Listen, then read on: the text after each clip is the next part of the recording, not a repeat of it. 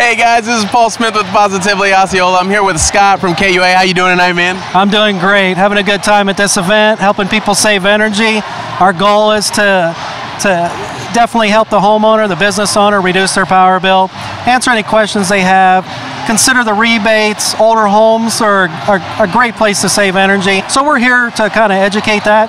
We also got a nice little display we kind of cooked up a little bit to, to kind of showcase saving energy.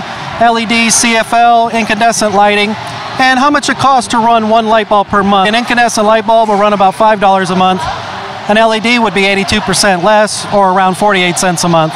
So we're here to help that out, and you can see this event is great. There's a lot of lot of people here learning about Discover Osceola. We got a zip line up, uh, compliments of KUA, and and doing our best just to help out the community when we can. That sounds fantastic, man. Now I know um, when everyone thinks the electric company, they think electricity and they think they gotta pay it. Uh, but there, you guys do a lot more for the community, right? Definitely. Um, we also educate uh, photovoltaic solar. So if you're interested in, in solar and, and, putting solar on your house and generating energy, uh, we can help you with that process. It's called net metering. Um, a lot of the things we do, movie in the park at the lakefront. Uh, we sponsor enormous amount of events. Um, uh, we just had an event, the woman's head to toe. That was pretty cool.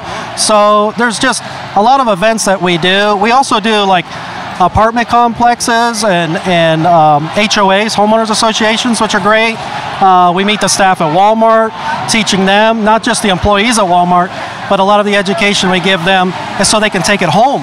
And so they might have a different power company, but that's okay too because you know maybe they want to move back to Kissimmee, you know, because you know we're we're KUA, we try to do it right. We do our best, and even in the storms, our linemen, our personnel, our customer service staff are always available. Uh, we're not perfect. We don't try to be perfect. We just try to listen to the customer is the main aspect.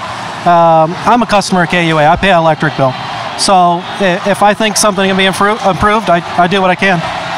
Scott, that's fantastic, man. Thank you so much for your time. Really appreciate it. Really appreciate Back to the Future on the screen back there, too, man. Thanks. Thank you.